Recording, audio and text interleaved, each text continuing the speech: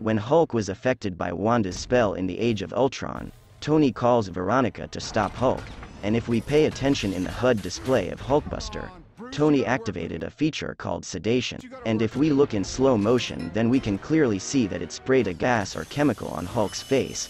I think it was sleeping gas canisters installed in Hulkbuster's arm which Stark tried to use on Hulk to weaken him. Where's your body? I am a program. I am without form.